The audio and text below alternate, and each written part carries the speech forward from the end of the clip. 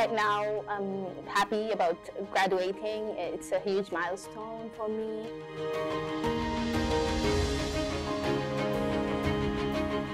This is uh, a moment that I've been waiting for because this is literally my first time working as a graduate student.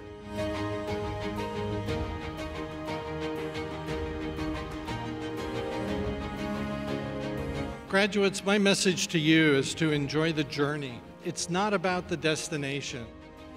People told me this when I was your age, but I didn't get it. But I can tell you I do now. It really is all about the journey. That walk across knowing that it might be my last one is going to feel, it's going to be bittersweet, but I think I'm going to enjoy it. Undergraduates, you may now move your tassels from right to left.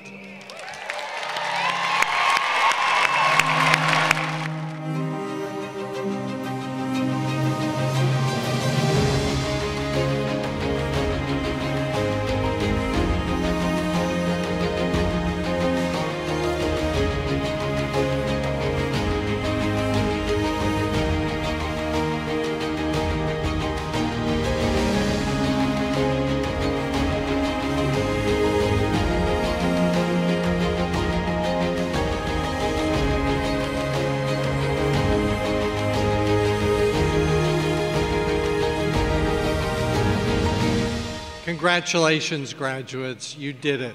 Let's give these outstanding graduates a round of applause.